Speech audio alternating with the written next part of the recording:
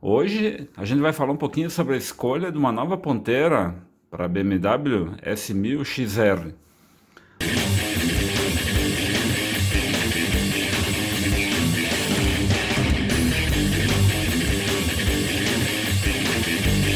Os mais atentos viram no meu Instagram, que é o Luiz Tamioso, tudo junto, uma pegadinha lá em que eu vou mostrar até aqui que eu coloquei me troca. Já para fazer uma brincadeira e muita gente já ficou ligado se eu ia mexer no cano da XR1000. E realmente vou mexer no cano e vou aproveitar para comentar com vocês algumas coisas sobre escapamento, sobre ponteira e tudo mais. A escolha basicamente ela foi entre um cano full, um cano completo e a ponteira. A minha pesquisa não queria comprar um de marca, então se baseou em linhas de fabricantes nacionais, né, limitando o valor do, do investimento, que esse momento não está lá essas coisas para ninguém. Né? Vou colocar agora os dois que mais me atraíram e que eu gostei. Vou colocar os dois vídeos dos fabricantes aqui da Power Escapamentos e da Max Escapamentos, ok? Assistam!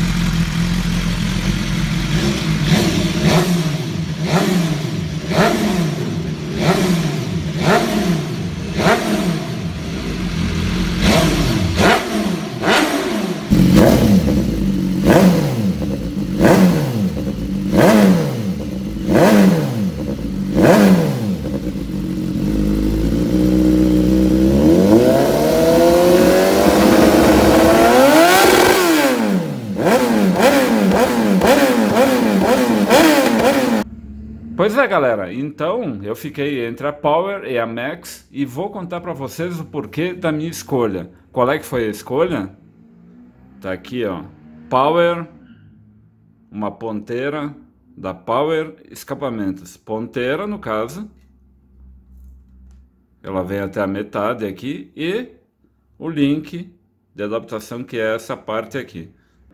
Então, o porquê da minha escolha? Como eu falei, uma questão do, do custo mais em conta, só da ponteira e do link, e pela questão também da melhora do peso da moto, a redução do peso, né? E da estética e do som. Não era a questão da performance, fora que vai estar tá mais leve um pouquinho a moto, né? Eu gostei mais do som dele, vocês viram e ouviram os dois vídeos. Eu gostei mais porque ele, a Power oferecia uh, sons desde médio alto, baixo médio, mais agudos, mais graves. E eu escolhi um som baixo médio, mais grave, que eu achei que ficava melhor para moto, para esse estilo de moto.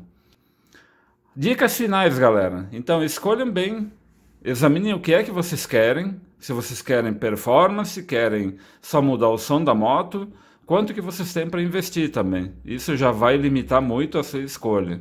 Obviamente que quanto maior e mais conhecido conhecida a marca, mais caro você vai pagar.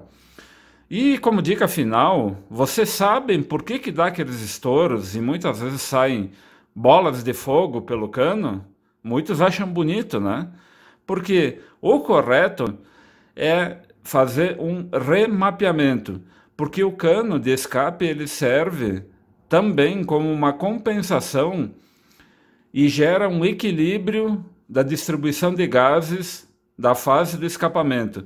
Então, quando você libera muito o cano, deixa de ter a restrição, passa para principalmente em motos mais antigas que não tem uma MCU que faz correção em tempo real da mistura ar-combustível, você, você passa a consumir mais combustível porque você está queimando mais do que precisaria. E isso ocorre por esse desequilíbrio entre a câmara de combustão, saída de gases e o escapamento que antes tinha uma restrição maior. E esse equilíbrio foi afetado. A MCU corrige geralmente, fala em 8 a 10% esse equilíbrio do motor. Acima disso ela não tem o que fazer. Ela não consegue fazer um ajuste interno, um ajuste fino da mistura ar-combustível além desses 10%. Então, para quem busca, além disso, a performance e deixar sua moto realmente por completo, vai ter que buscar também fazer um remap, geralmente associado a troca de velas, colocando velas iridium, um filtro mais esportivo e tudo mais. Valeu, gurizada! Espero que tenham gostado. O próximo vídeo já vai estar com essa ponteira e link instalados na moto no lugar do cano original. Se gostaram, lembre de deixar o seu like. Um abraço do Luiz Tamioso. Fui!